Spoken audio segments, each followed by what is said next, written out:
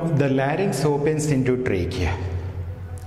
The larynx opens into trachea. Trachea is also called as windpipe.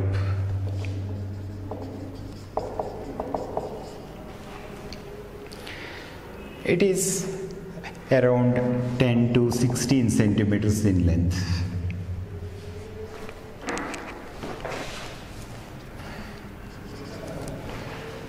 The length of trachea is around 10 to 16 centimeters. It is present mid-ventrally.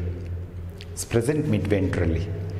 Extends from that larynx through the neck mid-ventrally and dorsally ventrally mid-ventrally. It extends up to T5. I told you larynx starts at the cricoid is present at the level of C6 cervical vertebrae. There are seven cervical vertebrae, there are 12 thoracic vertebrae. Now, at the level of C6, the lower end of larynx, from that originates trachea, and the trachea will extends up to T5. It extends up to T5. Trachea,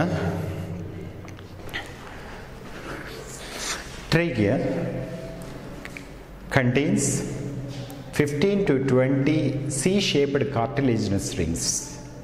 C-shaped cartilaginous rings.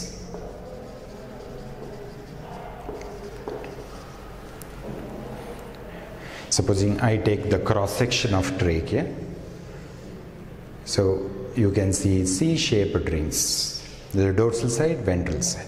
Hmm?